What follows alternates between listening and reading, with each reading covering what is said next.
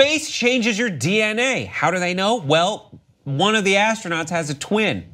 Uh, they sent him into space for uh, an extended period of time. This is Scott Kelly. Uh, you've seen him on commercials. You didn't know, but you did. Um, and he went, and 7% of his DNA by the time he got back was different from the DNA of his twin who stayed on a planet called Earth. Kind of crazy. Sounds like a science fiction movie, but thoughts five words or less. X Files, please investigate. Science rules. Went to space, grew an arm. Mutants. It's crazy. He mutated. Yeah.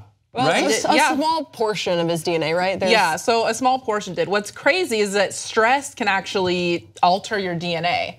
Um, radiation obviously breaks your DNA, and then either it can repair itself correctly or it can repair itself differently, and then your DNA is changed. So he's he's in space, no gravity. Um, you know, oxygen is- isn't the same, the atmosphere isn't the same.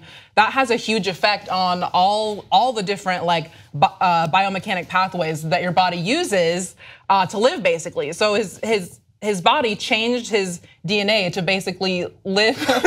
so fast. Neil deGrasse Tyson, everybody.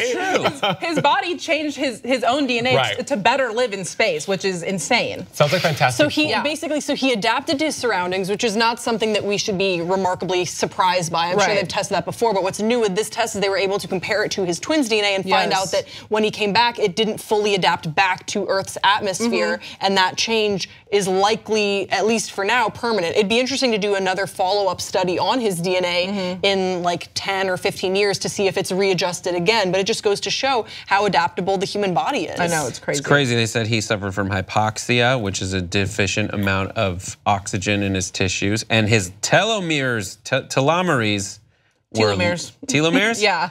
Wait, look at Yeah, how bio on, over here. let's just pull Okay, ball yes, I, I know a lot about it. here. Are you a bio telo- major? Yes. Telomeres are, are the ends of your chromosomes, and essentially, uh, scientists can use those if, if they're shorter.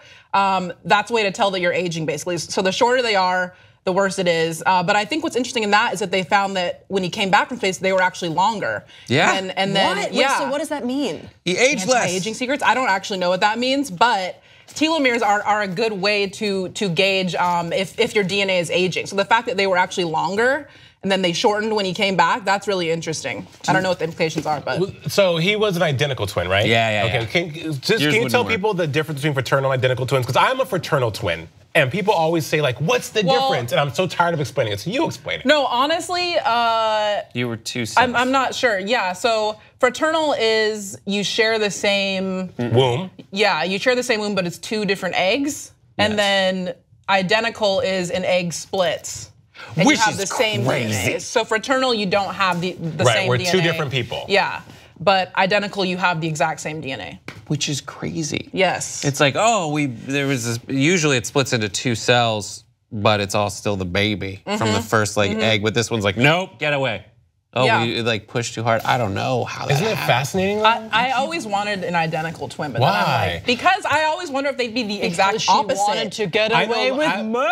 I have identical twin cousins, and I have something to tell you. They're the weirdest people ever. And like, because He says watching. as he's just grabbing. No, because there's like space. There's a fluff in the air. But um, but you know, the questions that they ask twins a lot is like, you know, if your brother eats a cheeseburger, do you taste it? Or if he gets hit by a car, would you feel They're it? messing with everyone. They're just like, yeah, But I some, do. but no, Yeah, but there are some. connection. There, I, I do think that some identical twins for sure have a connection.